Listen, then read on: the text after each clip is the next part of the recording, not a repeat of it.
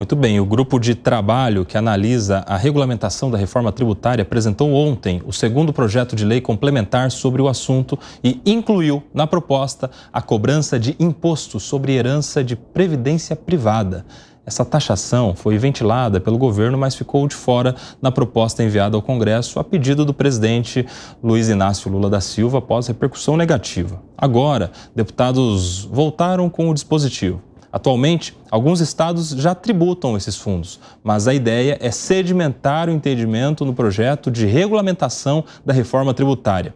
Além disso, a cobrança tem sido questionada na Justiça Alangani. Pois é, absurdo isso, porque você trabalha a vida inteira, você faz um fundo de previdência, o dinheiro é legítimo, é seu, com seu suor você faz o que você bem entender com esse dinheiro. Se você quiser gastar, você gasta, porque é seu dinheiro. Né? Se você quiser deixar para os seus herdeiros, para os seus filhos, que você deixa. O dinheiro é seu. Aliás, é nobre fazer isso. Ah, mas é injustiça porque um vai começar a vida com mais dinheiro que o outro. Bom, mas isso existe esse fator aleatório mesmo. Certo? Você quer reduzir a desigualdade numa sociedade de educação de base. Não existe igualdade em termos absolutos. Existe alguma igualdade em termos relativos que dá para fazer educação de base. Agora, tributar a herança por meio desses fundos, sabe o que, que vai acontecer? Uma baita ineficiência. Porque ao invés de você passar o dinheiro para a sua família, você vai passar o dinheiro para o Leviatã, para os burocratas, para os políticos fazerem mau uso desse dinheiro. Fábio Piperno, me dá a impressão de que se a gente coloca mais taxas em, em uma previdência privada, naturalmente haveria um desestímulo à previdência privada e desestimulando a previdência privada há um, uma, uma espécie de, de maneira de sobrecarregar a previdência pública, que já é muito sobrecarregada. Você acha que esse tipo de proposta pode impactar ainda mais na nossa previdência pública, no INSS? Eu acho que esse talvez não seja momento para se pensar em criar mais esse mecanismo, né? Porque, veja, eu acho que é, a gente está falando numa reforma tributária que é, eu não vejo por que chegar a esse nível de detalhe agora. Isso pode ser debatido depois. Acho que no caso da reforma tributária, é, há, uma, há questões mais urgentes. Hoje mesmo estava lendo, estava me informando sobre a questão do, dos tributos que incidirão sobre a indústria automobilística instalada lá no Nordeste. Já tem um lobby forte em relação a isso. Esse foi um tema votado aí há pouco tempo e que o, o, o texto que a Câmara aprovou passou por um voto, aí foi para o Senado, pode ser alterado lá, tem lobby para que seja alterado lá. Então, eu acho que esses assuntos, esses temas, eles são mais urgentes. É, eu não sou contra tributação sobre herança, mas no caso dos fundos, eu acho que esse é um assunto que tem que ser debatido lá na frente com mais cautela. Quero a sua análise, José Maria Trindade.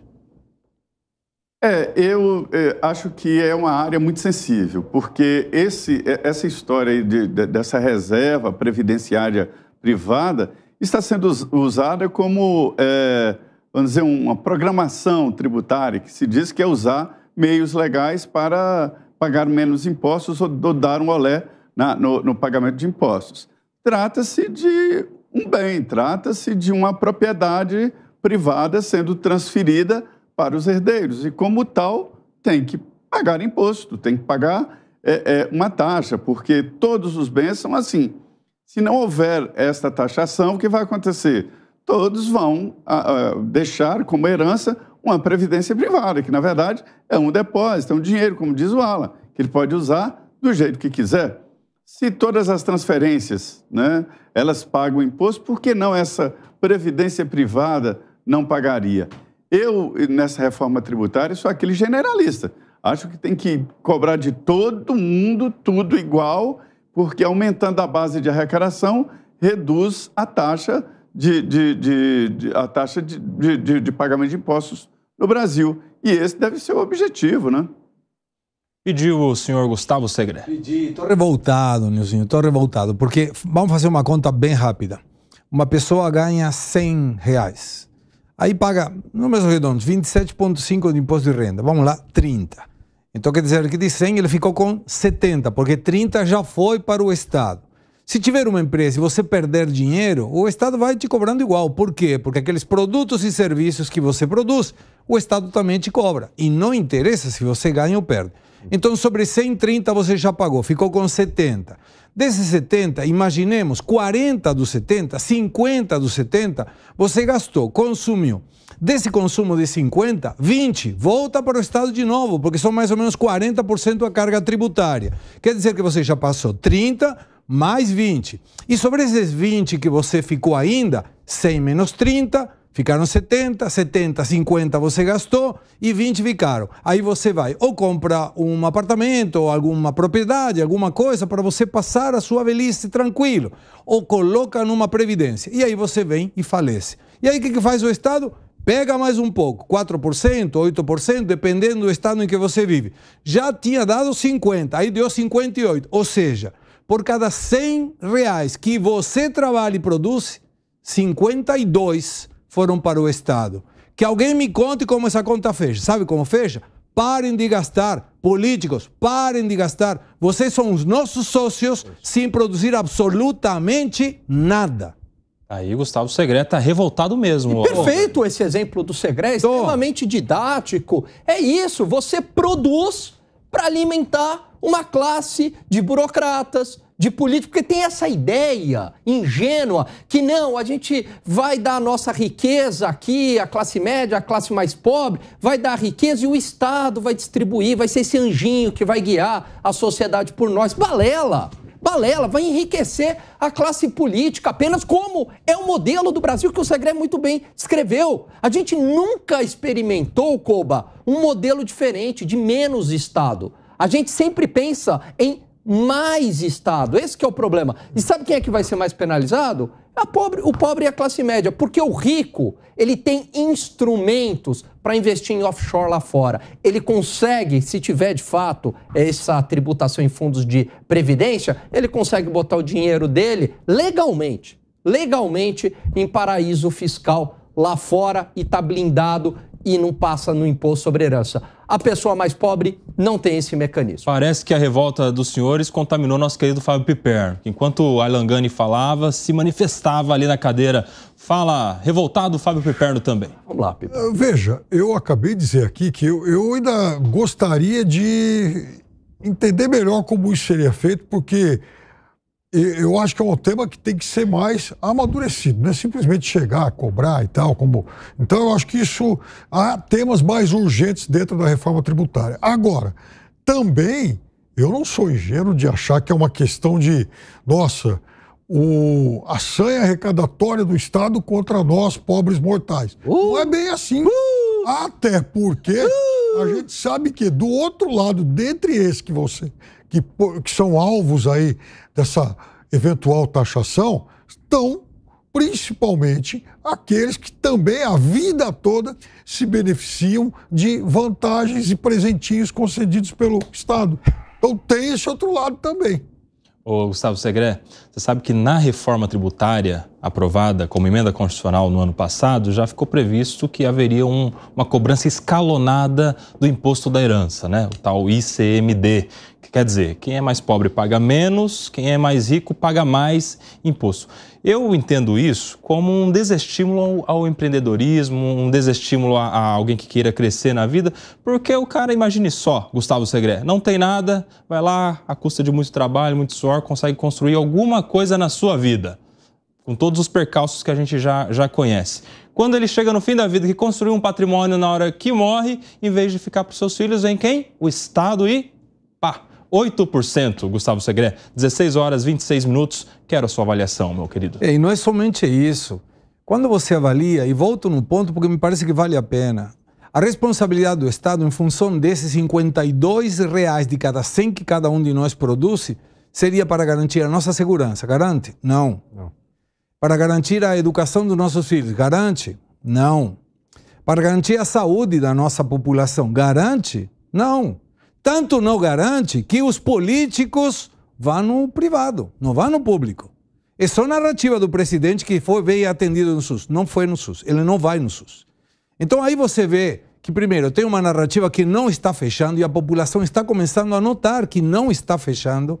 E aí vai outra questão. E muito bem Alan Gani mencionou isso. A pessoa que tem recursos e que não quer que venha o crocodilo do Estado a levar mais uma partezinha dele, vai para o exterior, muda eventualmente seu endereço fiscal e vem mais pela frente. Guardem esse programa de hoje vai vir taxação de grandes fortunas, vai voltar a ter taxação de dividendos. E a taxação de dividendos não estaria errada se tivesse uma menor taxação do consumo, da produção. Não pode ser taxo a renda e continuo taxando a produção. Então chega uma hora, gente, que o bolso não dá mais. E aí não compensa trabalhar. E aí vem o que acontece. Uma pessoa que tem uma ajuda social, ele faz as contas e diz: peraí, para que, que eu vou trabalhar? Se eu trabalho, eu tenho imposto de renda para pagar? Não, compensa mais ajuda social. Então, vai o buraco abrindo mais, o Estado vai arrecadando menos, vai gastando mais, e lá na frente, e vai vir, lá na frente, o risco de calote é gigantesco.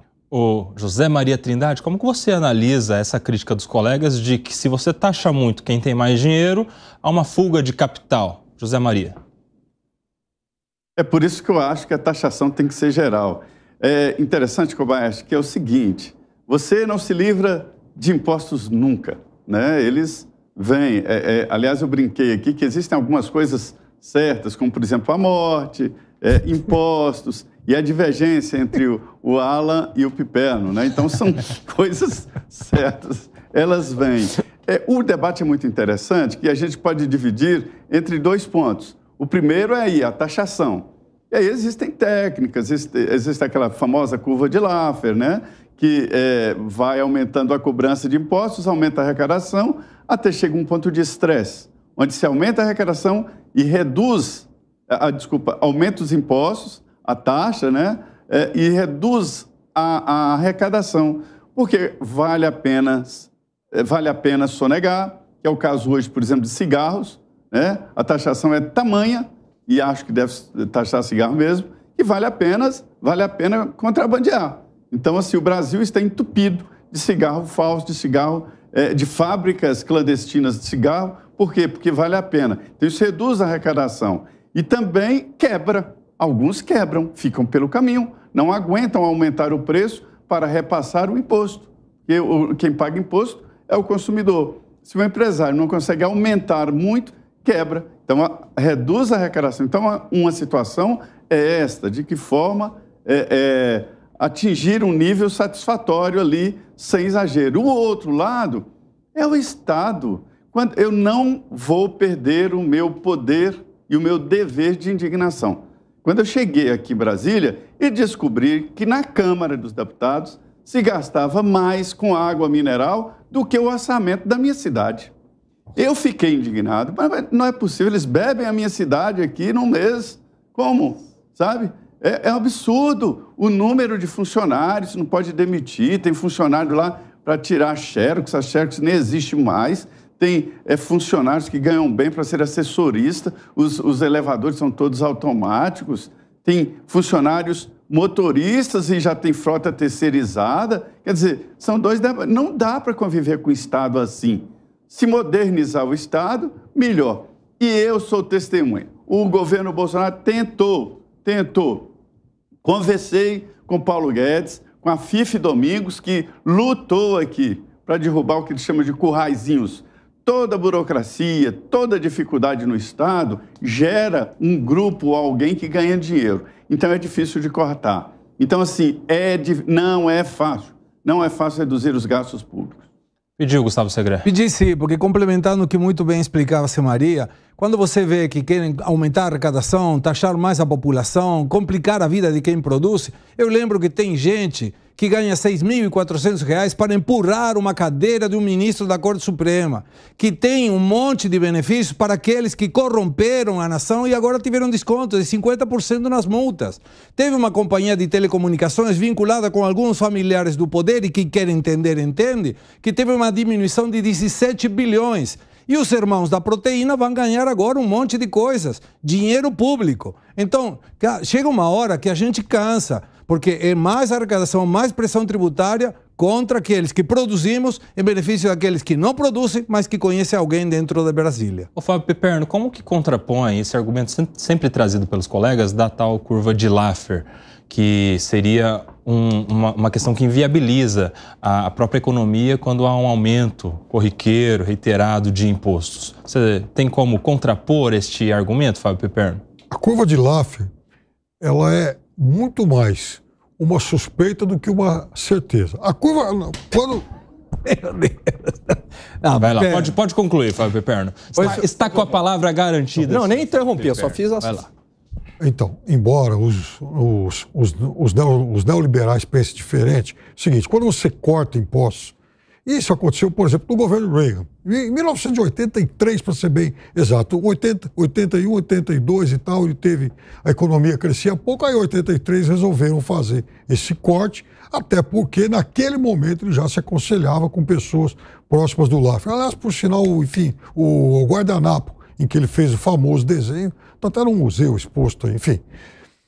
Muito bem, quando há um corte de impostos, e aconteceu, por exemplo, isso ano passado, quando o governo Lula resolveu lá dar um, enfim, um benefício durante um, um enfim, determinado período para que, que se comprasse carros. Então, tem um incentivo, um corte de impostos, é óbvio que aquele setor vai se beneficiar, ele vai vender mais.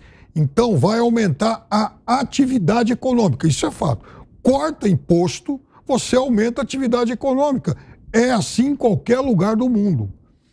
O que não é comprovado em relação à curva de Laffer é que você fazendo esse movimento, automaticamente o governo vai arrecadar mais.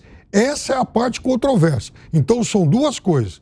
Cresce a atividade econômica, quando você corta impostos, isso é verdade, por exemplo, você corta imposto da construção civil, as empresas vão construir mais casas, porque as casas vão ser mais baratas. Então, é óbvio. Agora, isso quer dizer que automaticamente a arrecadação ela vai crescer tanto assim a ponto de compensar o benefício que você deu para esse setor? Isso é um ponto de grande divergência. E falando em divergência, eu acho que é. querem divergir os colegas aqui. É claro, né? Seguindo a máxima que o Zé trouxe, que a gente tem algumas certezas na vida, que eu vou discordar do Piper. É, veja, a, a, curva de Laffer ela foi testada empiricamente por dois, um casal de economistas, Romer e Romer, uh, inclusive ligados ao Partido Democrata, à esquerda dos Estados Unidos, o que dá mais argumento a veracidade da curva de Laffer, são dois acadêmicos muito sérios. Publicaram um estudo na American Economic Review, que é uma das revistas acadêmicas mais respeitadas do mundo, junto com a Econométrica, e eles provaram que existe ali empiricamente, mediram com econometria. Eles provaram que tem um ponto máximo. Ô, ô Alan. Diga, Zé. Ô, ô Alan. É, eu, eu, eu tenho na minha memória uma prova aqui na região disso aí. A Argentina criou o imposto nos mesmos moldes ali da CPMF e foi elevando a alíquota até chegou a 2% de toda a transação financeira e a arrecadação caiu. É, exatamente. Porque os argentinos começaram a, a comprar dinheiro vivo, a, a, cheque e tal. Até hoje está. É isso. É, só pegando o gancho aí do que você trouxe, Zé, é, eles viram que nos Estados Unidos a alíquota era 34%. Então, de fato, você ia aumentando a alíquota de 0 até 34%, aumentava a arrecadação do governo. Só que chega num ponto que se, vo se você passar dos 34%, a arrecadação começa a diminuir, porque você é, gera desincentivos para a produção, para o trabalho. Fala, pô, é a ideia que o Segredo trouxe. Ué, mas por que, que eu vou trabalhar tanto? Por que, que eu vou empreender Ou tanto? aumenta a sua negação. É,